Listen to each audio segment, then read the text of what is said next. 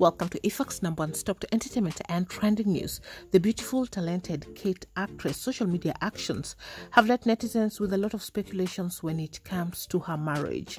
As you all know, guys, Kate and Phil have always supported each other big. They have shown their love on social media. And so when netizens got to see that Phil, that is the husband to Kate actress, has been deleted from her social media post. There is no presence or any indication that she has been or married to this man. As you know, guys, they have a beautiful blended family together. Kate with her firstborn and also a child that they have together, a daughter that is, they have been admired by many as the ultimate couple.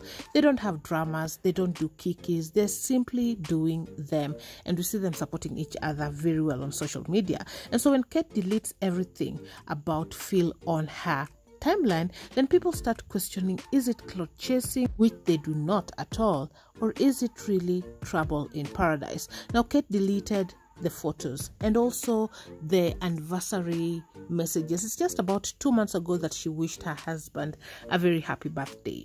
Even that one is gone. In that message, she was very loving, put the laughing emojis, putting out to her husband, Leo check Mpesa please, alafu utapitia duty free ununue supplements because of her 30s. She also did put out, we are also so proud of you, field director, two more wins 2023.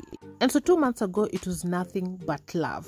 But another scenario could be that Kate actress wants to go completely private when it comes to her family, her marriage, her children. Maybe right now all she wants her focus to be on, rather people to focus on, is her brand as Kate actress and not her love life.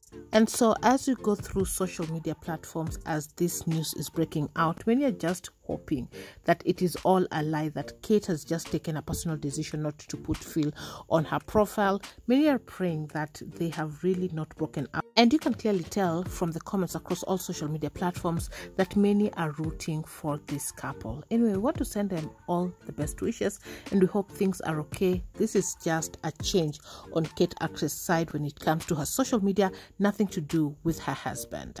Her husband Phil, on the other hand, has not deleted anything. All posts are intact. So maybe that's a good sign. Anyway, that's what's happening on the internet streets. You're up to date. Thanks so much for watching.